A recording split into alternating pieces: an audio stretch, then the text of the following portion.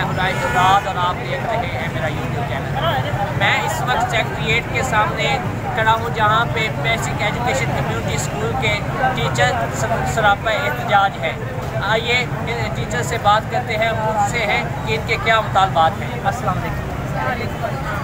आपके क्या मुतालबात हैं? हमारे पॉलिसी जो है, बाकी जो तरह बनाई हमारा पैकेज अच्छा किया जाए और जल्द अज जल्द हमारी ये बात सुने अगर हमारी ये बात नहीं सुनते हमारे पास हुए नहीं होते हम लाहौर में सेक्रेट के सामने धरना लिए बैठे हैं दस दिन की तक पहुँचोगे तो हुकूमत ने बाकी सूबों की आप इनके बीस से पच्चीस हज़ार हमारी गवर्नमेंट से अपील है कि हमारा भी पैकेज अच्छा किया जाए बीस से पच्चीस हज़ार से हमारी सैलरी जी तो हमने बात की बेसिक एजुकेशन कम्युनिटी स्कूल के टीचर से। उनका मुतालबा ये है कि जिस तरह बाकी सूबों के टीचर्स को रेगुलर किया गया है, इस तरह पंजाब के टीचर्स को भी रेगुलर किया जाए। हमारा गुजारिश है हमारी, जनाब वज़ीर अला परवेज़ इलाही साहब से, वो इन टीचर्स की फरियाद सुने।